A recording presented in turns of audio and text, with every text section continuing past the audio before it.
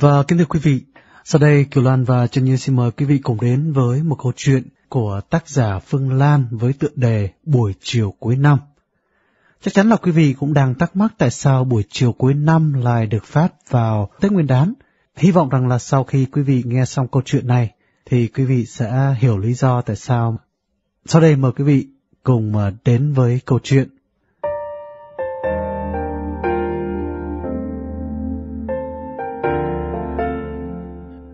Vớt xong chiếc bánh trưng cuối cùng, bà Sang thở ra nhẹ nhàng sung sướng. Thế là mọi công việc chuẩn bị đã xong. Giờ chỉ còn chờ đợi để đón xuân. Tết năm nay là một cái Tết đặc biệt. Các con cháu của bà từ hai tử vang khác đều về tụ tập ở đây cả. Nên bà muốn tổ chức ăn một cái Tết thật lớn với đầy đủ mọi thủ tục, lễ nghi. Đủ các món ăn cổ truyền như hồi còn ở quê nhà. Bà trưng dọn nhà cửa đẹp đẽ, bày bàn thờ cúng trang nghiêm với lư trầm, chân nến, bát nhang. Tất cả đều là đồ đồng, được đánh sáng bóng. Bài vị của tổ tiên và ảnh của ông được bà lau chùi cẩn thận và lộng kiếng mới. Mâm ngũ quả và hai bình bông tươi đã được bày biện sẵn sàng, chỉ chờ các con cháu về là bày cỗ cúng. Đặc biệt hơn cả, Năm nay bà gói lấy bánh trưng, chứ không mua như mọi năm. Chả mấy khi các con cháu về đầy đủ, bà muốn tạo một không khí đặc biệt ngày Tết để chúng nó hiểu sơ qua về phong tục tập quán Việt Nam. Mấy hôm trước, bà sai Trung mua về một cành đào và mấy chậu cúc thực dược và hai chậu quất nặng trĩu những trái. Những trái này ra riêng bà sẽ hái để làm mứt mứt quất và làm ngon tuyệt. Các món bánh mứt, dưa hành, củ kiệu, măng nấm, cá thu kho riềng, giò thủ, thịt đông vân vân đều đã chuẩn bị xong xuôi. Bây giờ chỉ còn nồi bánh trưng. Bà gói tới mười mấy chiếc nên phải nấu ở sau hè mới có chỗ. Bánh đã vớt hết rồi. Bà nhấc cái nồi để qua một bên, đổ nước vào bếp dập tắt củi lửa rồi mới khoan khoái đứng ngắm công trình của mình. Những chiếc bánh trưng vuông vắn, đẹp đẽ, xếp thành từng hàng để trên mặt bàn đang bốc hơi nghi ngút. Lá rong sau khi luộc vẫn giữ nguyên màu xanh tươi tắn, chứ không biến thành màu nâu như lá chuối. Ở Mỹ, lá rong đến là hiếm, phải nhờ người quen mách chỗ mới thừa được một mớ. Bánh trừng gói bằng lá rong bao giờ cũng ngon hơn lá chuối. Bà đưa tay nắn thử mấy cái và mỉm một nụ cười hài lòng. Bánh gói chắc tay, lại nấu tới gần 8 tiếng, cam đoan là rền mà ngon phải biết. Bỗng có tiếng chuông reo cửa. Biết là giờ này là giờ các cháu đi học về nên bà vội vã rửa tay rồi ra mở cổng. Một bọn bốn đứa trẻ chạy ùa vào sân, Chúng ôm lấy bà, mỗi đứa nói một câu om sòm như cái chợ. Bà nội, bà nội! Thưa nội, con đi học mới về. Nội ơi, bánh chín cho nội! Nội, bánh trứng nhỏ của con đâu? Chúng chạy lăng xăng quanh bà, một đứa ôm chân làm bà vướng víu, nhẹ nhàng cúi xuống gỡ nó ra. Bà xoa đầu đứa này, nựng má đứa kia, vút về hồn hít từng đứa, rồi mới dịu dàng nói. Bà không quên đâu, vào nhà rửa tay đi đã, rồi bà cho. Phát bánh cho các cháu xong, nhìn chúng nó tranh nhau ríu rít, bà thấy vui vui trong lòng. Bắt chợt, đứa cháu trai một mình dành tới hai cái, bà bật cười một mình, lẩm bẩm một cách âu yếm. Cái thằng này đến là tham ăn, giống y hệt như bố nó lúc nhỏ. Đứa em nó không có phần, chạy tới rực không được, khóc thét lên rồi lăn ra đất ăn vạ. Sơn, đứa trả cho em, không có bị đòn nhở. Mẹ chúng vừa khóa xong cửa xe, từ bên ngoài bước vào la con, xong quay sang cười với mẹ chồng. Cái thằng này á, hư quá à, lớn rồi mà không có biết nhường em gì hết trơn á. Còn nít mà, thôi đừng mắng nó. Bà cũng cười và quay qua lũ nhỏ. Bánh còn nhiều lắm, các cháu cứ từ từ mà ăn, đừng có tranh nhau. Chắc mẹ mệt rồi, mẹ đi nghỉ đi, để con nấu cơm cho. Đứa con dâu nói. Bà trả lời. Không sao, mẹ vui nên chẳng có cảm thấy mệt gì cả.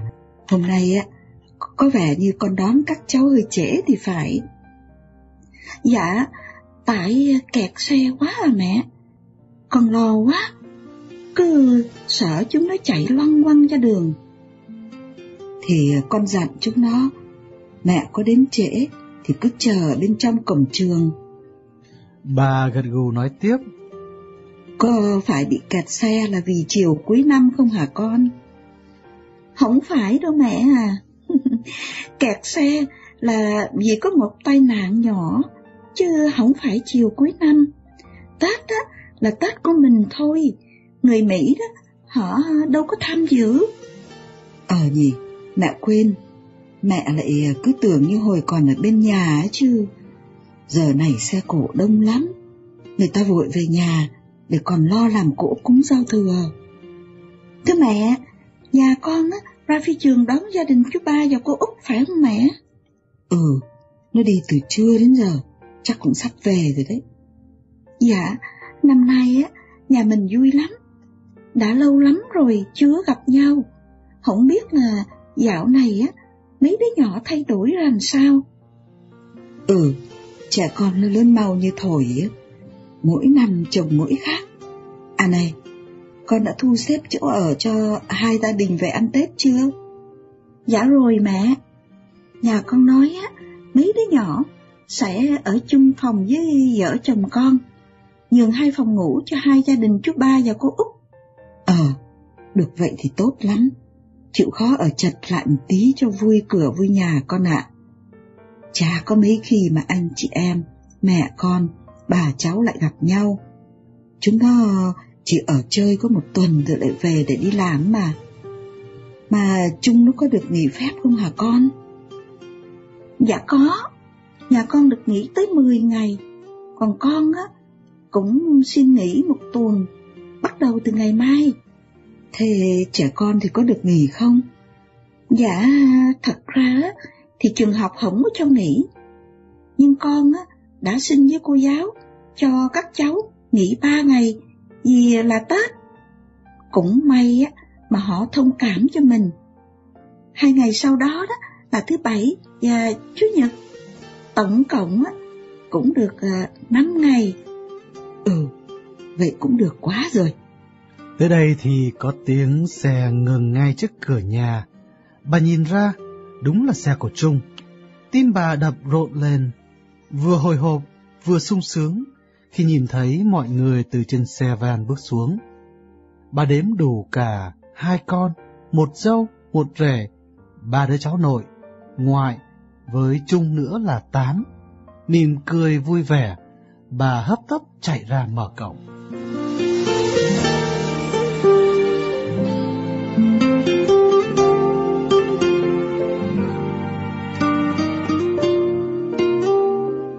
Bỗng xoảng một cái, tiếng một đồ vật nặng bằng kim khí rơi xuống đất khiến cho bà giật mình mở choàng mắt, tỉnh hẳn ngủ.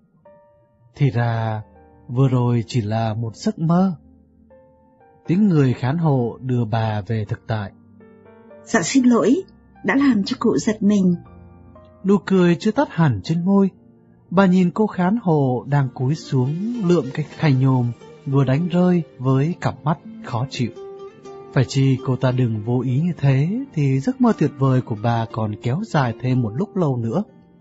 Bây giờ thì bà sẽ chẳng bao giờ còn được nhìn thấy nữa cảnh các con cháu xuống xích quanh bà. Cảnh dâu con hiếu thảo với bà. Những cảnh chỉ có trong mơ. Tiếc quá. Lẽ ra cô ta không nên vô đây, làm rộn trong lúc bà đang nằm ngủ. Bây giờ thì hỏng cả rồi. Tất cả khung cảnh gia đình đầm ấm đều đã tan biến hết. Cụ ơi, sao mà cụ chẳng ăn uống gì hết cả vậy? Cụ bỏ cơm bữa nay là bữa thứ ba rồi đó. Phải cố mà ăn thì mới khỏe được chứ. Hay là cụ chê đồ ăn không ngon? Nếu vậy thì cụ dám uống một ly sữa hay là ăn một tí súp nóng cho lại sức cụ nhé. Tôi không muốn ăn, chỉ muốn ngủ thôi. Nói xong bà quay mặt vào tường nhắm mắt lại, cố mơ tiếp giấc mơ hồi nãy. Nhưng không thể được. Bà thở dài, lắng nghe cuộc đối thoại giữa người khán hộ và bà cụ nằm ở giường kế bên.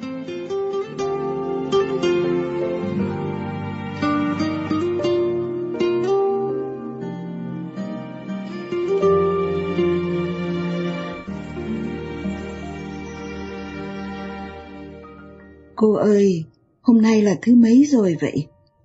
Ở trong này tôi chẳng còn nhớ ngày nhớ tháng gì cả. Dạ thứ cụ thứ ba, hôm nay là ba mươi Tết Tết. Thì ra đã quá ngày các con tôi vào thăm rồi ư. Chắc là chúng nó bận, rồi lại quên mất. Tôi buồn quá. Con cái đều là đồ bất hiếu. Coi cha mẹ già như đống giả sách, đem bỏ vào nhà dưỡng lão chẳng thèm ngó ngàng gì tới nữa. Thôi cụ ơi, đừng than lắm thế. Các ông các bà ấy bận, không săn sóc được cụ, thì giao cho chúng tôi. Dễ gì mà được vào ở đây. Tốn kém lắm chứ bộ thí sao? Ở đây có cả hầu người hạ, cầm bưng nước xót đưa tới tận miệng. Sướng thế mà còn than nỗi gì? Tại cô không có biết nỗi đau tinh thần của chúng tôi mà nói thế thôi. Chúng tôi nhớ con, nhớ cháu. Chúng tôi thèm một không khí gia đình ấm cúng. Những đòi hỏi đó, có gì quá đáng đâu. Những người già chẳng có mong gì hơn là được sống với con với cháu. Nhưng mà cụ già yếu rồi, ai sẽ săn sóc cụ? Chúng nó phải săn sóc tôi chứ. Thế thì khi xưa, ai đã săn sóc chúng nó khi còn nhỏ? Đâu phải đẻ ra là thổi phù một cái, thành người lớn, được nên vai nên vóc như ngày nay ấy, là nhờ công ơn của cha mẹ. Tôi đã vất vả về chúng cho đến khi chúng khôn lớn.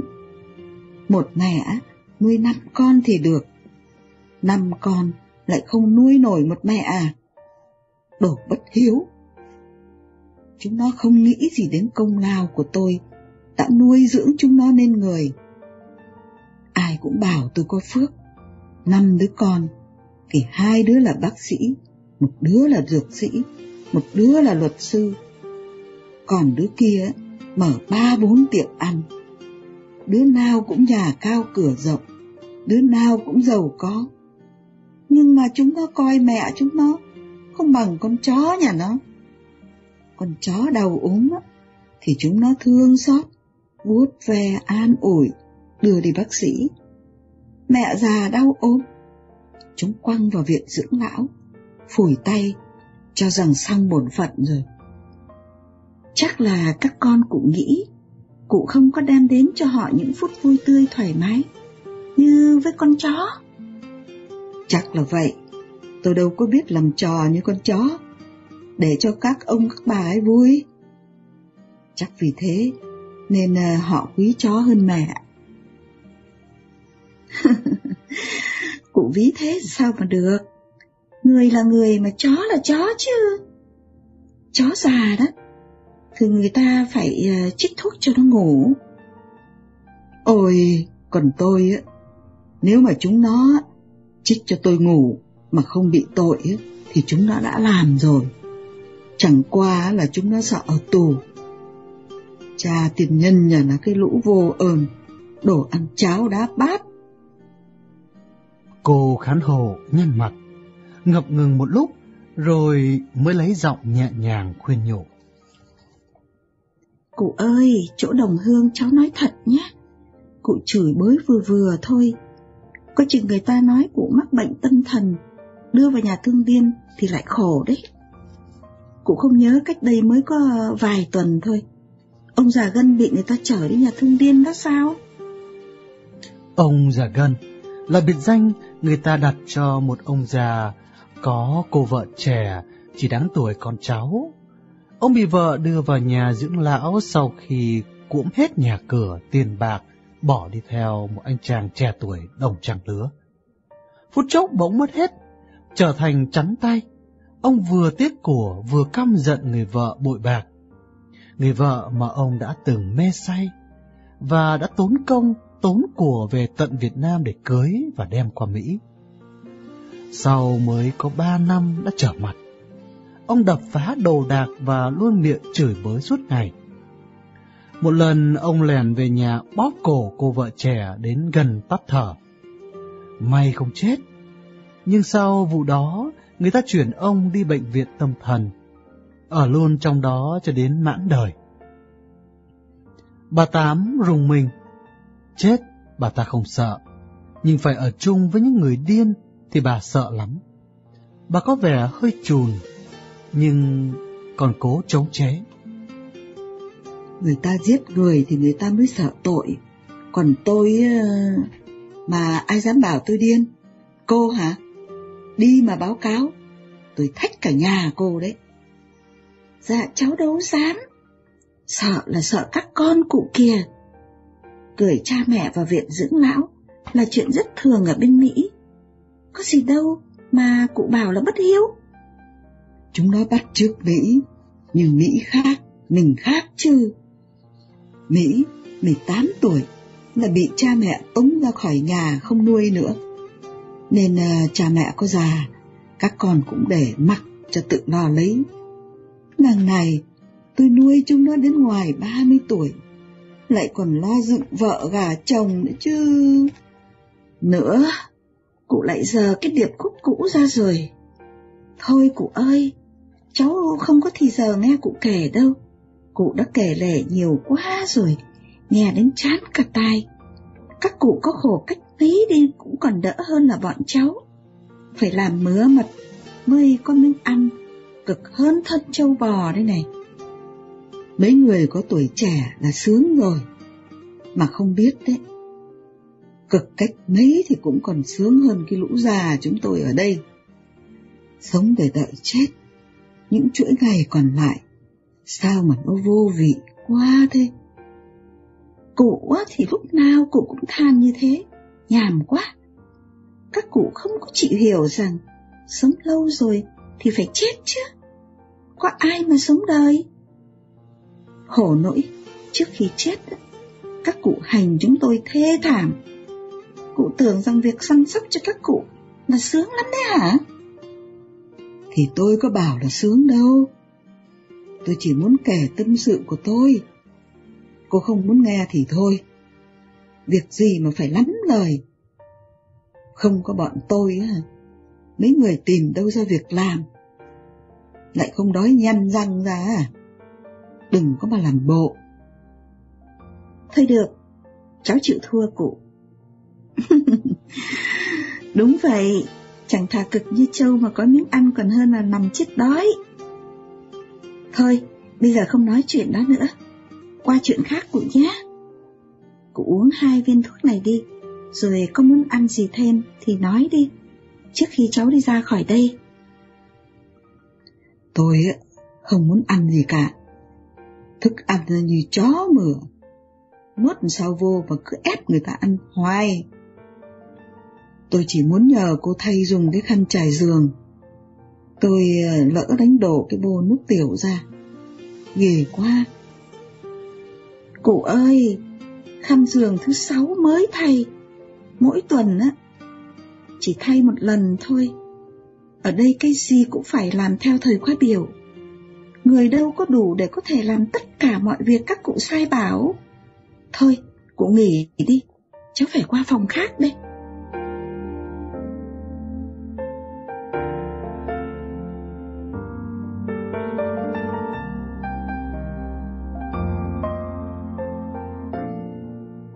Người khán hồ ra khỏi phòng. Bà Sang quay sang an ủi người bạn già. Thôi, bà chịu khó lấy cái khăn tắm che lên cái chỗ dơ nằm đỡ vậy. Rồi ờ, xin cái khăn khác. Khăn tắm á, thì ờ, chắc họ không có nỡ từ chối đâu. Thì ờ, chẳng còn cách nào hơn. Chúng mình ở đây lâu á, có khác gì những con vật đâu. Bà Sang mỉm cười chua chát. Những người ở đây đều là những người bị con cháu bỏ rơi. Họ vào đây để mà chờ chết. Nhưng họ không chết ngay. Có người sống lâu tới mức có đủ thời gian để những người chung quanh nhận ra những cá tánh đặc biệt của họ mà đặt cho họ một biệt danh. Thí dụ biệt danh của bà Tám đây là bà khó tính. Cũng như bà có biệt danh là người trầm lặng. Bà khó tính và người trầm lặng sống chung trong một phòng đã 6-7 năm qua, nhưng chẳng bao giờ xảy ra chuyện xích mích nào cả. Hoàn cảnh tương tự khiến họ cảm thấy gần gũi và thương nhau hơn. Bà Tám thích kể chuyện gia đình. Bà Sang lắng nghe tâm sự của bạn để ngậm ngùi cho bạn cũng như cho chính mình. Ở đây có một ông nhạc sĩ tên tuổi, nghe đâu hồi xưa là một giáo sư dạy nhạc, tăm tiếng một thời.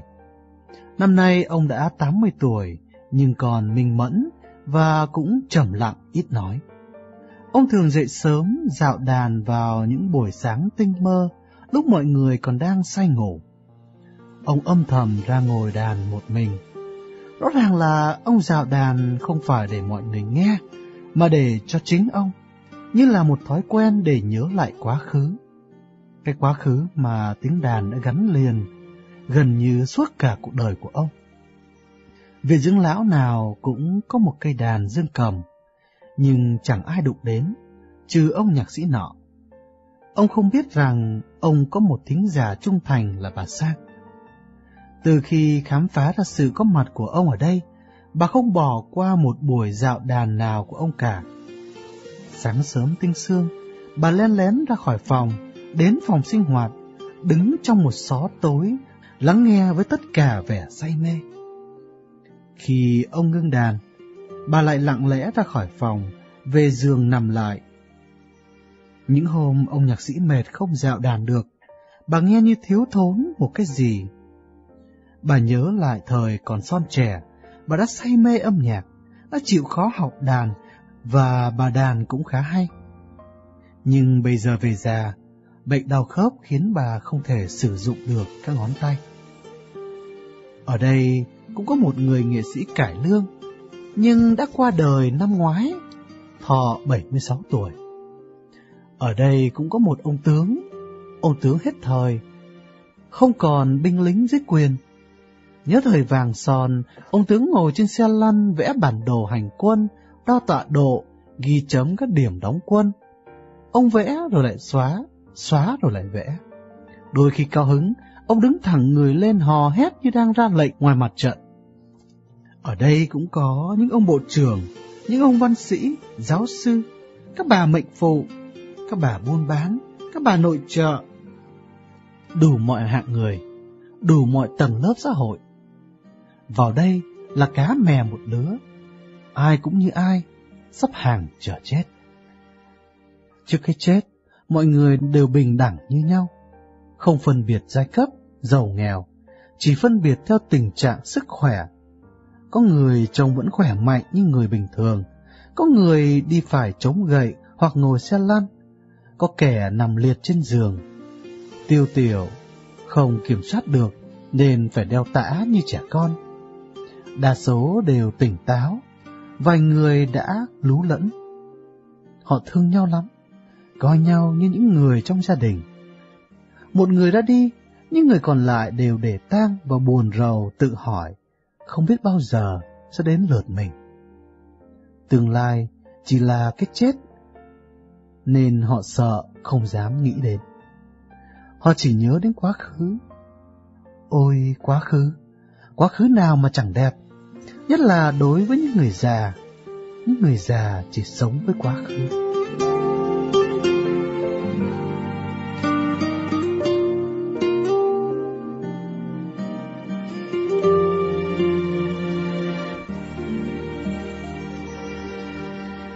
Bà Sang thở dài, biết rằng không thể ngủ lại được nữa. Bà mệt nhọc ngồi dậy, chống tay vào thành giường đứng lên. Cố gắng lê bước đến bên cửa sổ và ngồi xuống. Nơi đây lúc nào cũng sẵn hai cái ghế có tựa lưng, nhưng chỉ có một mình bà ngồi. đây là nơi ưng ý nhất của bà. Từ khi sức khỏe suy sụp, đi đứng run rẩy, bà ít khi ra ngoài để giải khuây. Bà hay ngồi bên cửa sổ, bà ngồi cả mấy tiếng, ngó xuống vườn hoa ở phía dưới, và xa hơn nữa là vùng phụ cận có một con đường nhỏ, xe cộ qua lại không đông lắm. Hai bên đường là nhà cửa, cây cối.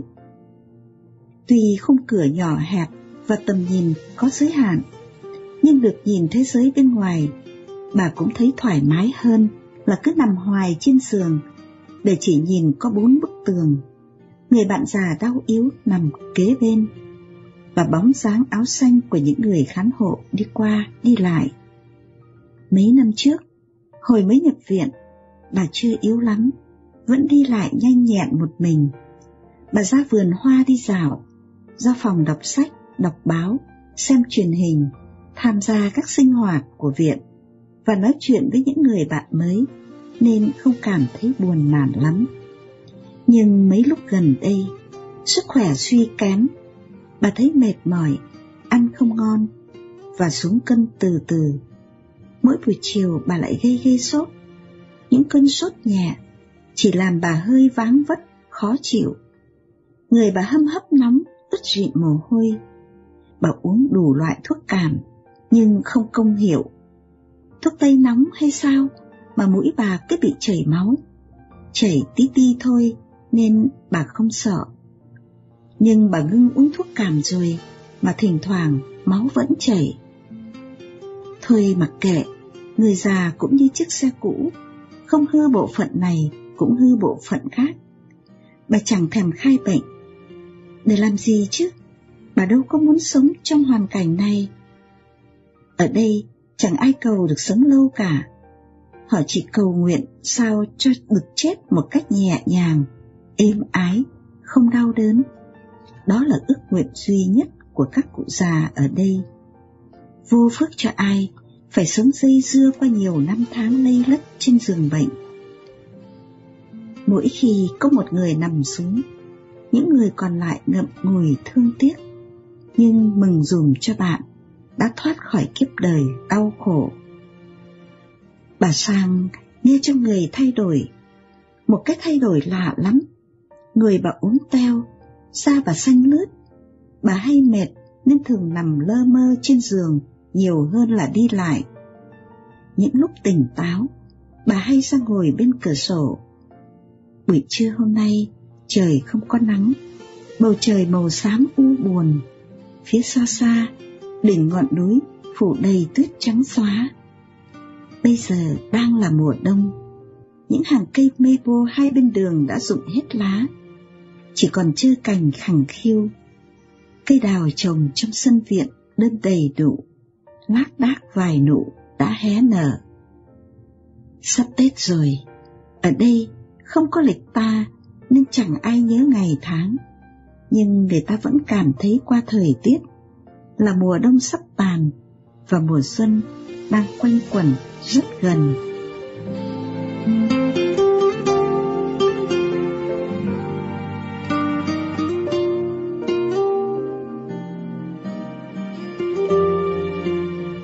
Trong viện dưỡng lão, người ta cũng sửa soạn để đón xuân. Một cành đào lớn được ban giám đốc viện cho chặt ở ngoài vườn, đem vào cắm trong một cái lọ lục bình lớn trưng ngay giữa phòng sinh hoạt của viện. Bánh trưng, dưa hành, kẹo mứt của những người thăm viếng được bày cả ở trên một cái bàn lớn để mọi người cùng ăn chung. Những bàn cờ tướng, bầu cua cá cọp, tam cúc, những cỗ bớt, vân vân, tất cả đều sẵn sàng. Ông nhạc sĩ cũng tham gia bằng cách đàn cho mọi người nghe những bản nhạc xuân tiếng đàn khơi dậy một quá khứ tươi đẹp, những mùa xuân trên quê hương.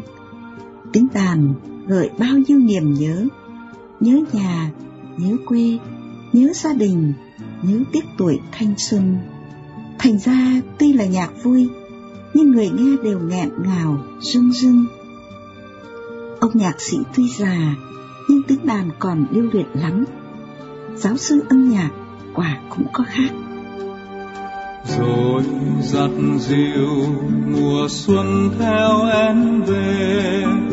Mùa bình thường, mùa vui nay đã về. Mùa xuân mơ ước ấy đang đến đầu tiên. Với khói bay trên sông, gà đang gáy trưa bên sông. Một trưa nắng vui cho bao tâm rồi dặm diều mùa xuân theo em về.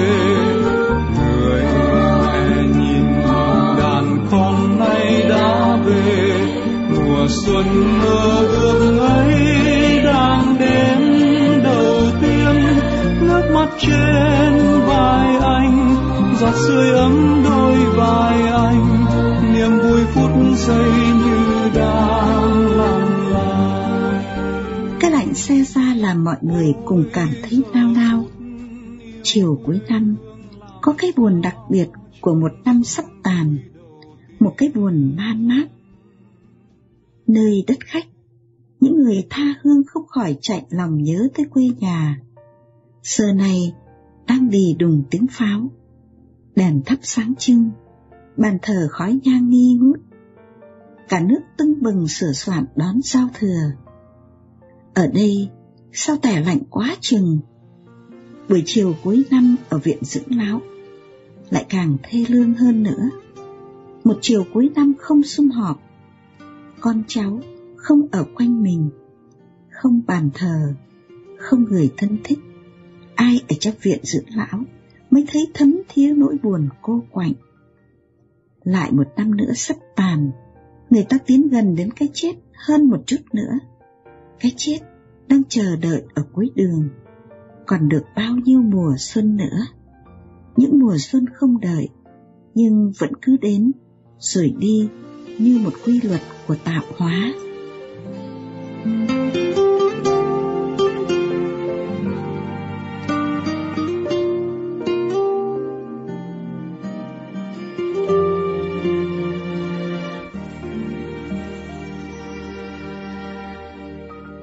Bà Sang rơi lệ. Ông mất đi vào một buổi chiều cuối đông, nên mỗi lần Tết sắp đến, bà lại buồn rai rứt. Nhớ khi xưa ông vẫn thường nói, khi các con à, khôn lớn không cần đến cha mẹ nữa, bà với tôi sẽ về lại quê hương. Chúng ta sẽ mua một căn nhà nhỏ, có vườn cây ăn trái, ở một vùng quê yên tĩnh để hưởng thú điển viên. Hai ông bà xa quê đã mấy chục năm. Dạo đó cả hai đều là sinh viên đi du học. Họ gặp nhau, yêu nhau và kết thành vợ chồng. Ba đứa con theo nhau ra đời, hai trai một gái. Thật ra ông bà còn có thêm một đứa con nữa, nhưng đứa bé gái xấu số đó đã bị chết ngay từ lúc mới lọt lòng mẹ. Cái gia đình năm người ấy nổi trôi trên đất Mỹ. Sau cùng họ chọn vùng California nắng ấm để làm nơi định cư. Sau bao nhiêu gian nan vất vả cố gắng nuôi con ăn học, hai ông bà vui mừng vì các con đều nên danh nên phận. Trung lập gia đình trước tiên. Đám cưới xong, hai vợ chồng nó dọn nhà đi Loma Linda, một tỉnh nhỏ ở miền nam Cali Nơi đó, Trung làm bác sĩ trong một bệnh viện nổi tiếng, thành công trong các vụ ghép các cơ quan như gan, thận và thay van tim. Hai năm sau đến lượt Hiếu lấy vợ, hai vợ chồng cũng dọn ra riêng, lần này đi tận tiểu bang Colorado, nơi Hiếu vừa xin được một chân kỹ sư hàng không. Sau chót là anh Thư, đứa con gái út, đi lấy chồng. Chồng nó là người Mỹ làm trong một ngân hàng quốc tế. Thư khăn gói theo chồng đến New York, là nơi có các trung tâm thương mại lớn nhất thế giới, tiện cho công việc làm ăn của cả hai vợ chồng. Thế là cái gia đình năm người ấy nay tứ tán mỗi người một phương. Ít khi có gì tụ họp đông đủ. Ông bà vẫn ở lại căn nhà nhỏ ở Santa Ana, không muốn làm gánh nặng cho đứa con nào cả. Và lại, đây mới là lúc thực hiện giấc mơ hồi hương, như chương trình ông bà vẫn dự tính. Thu xếp xong công việc, ông bà đăng bảng bán nhà để sửa soạn về quê. Trung bây giờ đã có ba con, vợ lại đang có bầu đứa thứ tư. Trung gọi điện thoại ngỏ ý mời bố mẹ về ở chung để trông cháu cho hai vợ chồng nó đi làm. Ừ, thôi cũng được. Ông cười, nói với bà, không hưởng thú điển viên thì chúng ta vui với con với cháu. Bà vui vẻ đồng ý liền. Được sống với con, với cháu cũng là niềm vui của các bậc cha mẹ khi tuổi đã xế chiều. Ông bà không ngại tuổi tác đã cao, cố đem sức già ra để giúp cho con cháu. Mấy đứa cháu quấn quýt, ông bà thấy rất vui. Trẻ con dễ thương chi lạ. Ông bà yêu cháu lắm. Chúng nó đứa nào cũng giống bố. Chỉ cần nhìn những đôi mắt nai tơ, chỉ cần nghe những lời thỏ thẻ ngây thơ của các cháu là bao nhiêu mệt nhọc đều tan biến hết. Trẻ thơ quả là thiên thần của hạnh phúc. Đến lượt vợ Hiếu sanh con trai đầu lòng, bà lại khăn gói đi Colorado để tiếp tay với vợ chồng nó săn sóc thằng cô tí. Còn mẹ nó đến là khờ dại. Bà nói một cách âu yếm. Ai lại mới sanh xong, đã tắt nước lạnh rồi, lại chẳng chịu kiêng cữ gì cả, cái gì cũng ăn bừa đi. Mai mốt về già sinh bệnh mới khổ đây. Nói của thắng tội, có ai đâu mà chỉ bảo, và cũng chẳng có ai nấu nướng gì cho nó ăn cả. Thật là tội nghiệp. Thế là bà lại lùi cùi nấu ăn cho con dâu, nấu nướng theo kiểu của bà, mà bà tin rằng rất tốt cho người đẻ. Gà ác tiềm thuốc bắc, cháo đậu xanh, chân giò hầm gạo nếp. Sau cùng cô gái út cấn thai. Nó hồi cơm tanh cá, nuốt không nổi đồ ăn Mỹ, nên người gầy võ vàng. Thương con, bà lặn lội đi New York để lo cơm nước cho con. Ông thì ở nhà lo cho đám con của Trung. Đưa đón các cháu đi học. Bà ở với Thư chờ cho nó sanh xong, mẹ tròn con vuông, cứng cáp rồi mới trở về với ông. Hai ông bà nghỉ hè được có vài tháng, thì Trung lại điện thoại nói các cháu nhớ ông bà. Thằng bé út mới có vài tháng cứ khóc hoài khiến vợ chồng nó không ăn ngủ gì được. Thế là ông bà lại khăn gói lên đường. Ông bà như con thoi, hết ở đứa này ít lâu lại đến đứa khác. Nơi nào cần thì ông bà tới, giúp cho con cho cháu. Ông bà chẳng bao giờ ngại tốn công sức, cũng chẳng quản chi mệt nhọc. Cuộc đời nếu cứ sôi trèo, mát mái như thế thì đâu có gì đáng nói. Đằng này, đang yên vui, thì trời bỗng giáng xuống một tai họa. Một buổi sáng mùa đông, trên xa lộ vắng, chiếc xe cũ ông đang lái bỗng bị văng mất đi một bánh xe. Chiếc xe mất thăng bằng, lạng qua một bên. Hốt hoảng, ông vội vã đạp thắng và bẻ tay lái cho xe tấp vô lề. Nhưng không kịp. Lỡ chớn, ông băng qua hai, ba len và đâm ngay vào cái cột đèn phía trước mặt. Đầu xe thun lại, bẹp rúm và ông nằm gục ngay trên tay lái. Người ta phải cắt mui xe mới lôi được ông ra. Mới thoạt đầu, trông ông không có vẻ gì là bị thương nặng cả, ngoại trừ mấy vết cắt nhỏ ở trên mặt do mảnh kiếng bể văng trúng. Ông không bị thêm một vết thương nào nữa cả. Cả người ông vẫn nguyên vẹn, không bị bầm tím hay chảy sát chi hết. Nhưng ông chết trong nhà thương một giờ sau đó vì bị nội thương trầm trọng. X-ray cho thấy xương sọ của ông bị tách rời khỏi cột sống do sức va chạm quá mạnh. Ông ra đi không một lời từ biệt.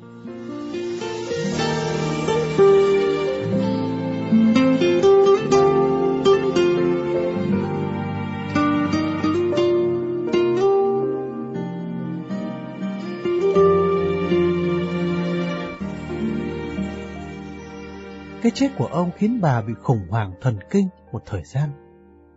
Tang ma cho ông xong, bà ốm liệt giường hơn một tháng mới khỏi. Tuy hết bệnh, nhưng bà yếu đi nhiều, trông bà hom hem và già sọm hẳn đi. Mọi việc bắt đầu thay đổi từ đó. Bà trở nên trầm lặng, ít nói, mặt mũi lúc nào cũng ủ rũ, héo hắt. Bà không còn đủ sức để làm được việc gì, dù nhẹ, nói chi đến việc nấu ăn và trông cháu. Bà nhớ ông nên ra ngẩn vào ngơ. Bác sĩ nói bà bị bệnh trầm cảm. Con dâu không cho phép bà lại gần với đứa cháu, sợ bà nổi điên bất tử, bóp cổ với đứa nhỏ. Trung phải săn sóc cho mẹ mấy tháng liền đã thấm mệt, cộng thêm công ăn việc làm khó khăn. Con cái quấy khóc không ngủ được, nên trở thành cao có gắt gỏng. Con ruột đã thế, nói chi đến con dâu. Cuộc sống chung không còn thuận hòa như xưa. Trong gia đình đã bắt đầu có những tiếng bức, tiếng chỉ, nói cạnh nói khóe, nhức móc. Chỉ có lũ cháu là vẫn thương bà, nhưng chúng còn nhỏ quá, không thể bênh vực bà được. Sau cùng, hai vợ chồng chung tìm cách đẩy bà cho Hiếu, rồi cho cô út. Ở đâu cũng bị đối xử tương tự. Các con bà quá bận rộn với cuộc sống, không ai muốn phải gánh thêm một gánh nặng là nuôi mẹ già, bây giờ đã trở nên vô dụng. Ôi sao chẳng ai nhớ đến công ơn dưỡng dục sinh thành, sao chẳng ai nhớ đến người mẹ đã tận tụy hy sinh cả đời để nuôi nấng, chăm lo, săn sóc các con, không chỉ những lúc các con còn nhỏ mà ngay cả khi đã khôn lớn. Khi nào các con cần tới bà thì bà giúp ngay, không bao giờ từ chối. Bây giờ là lúc bà cần đến các con, thì đứa nào cũng muốn trốn tránh trách nhiệm.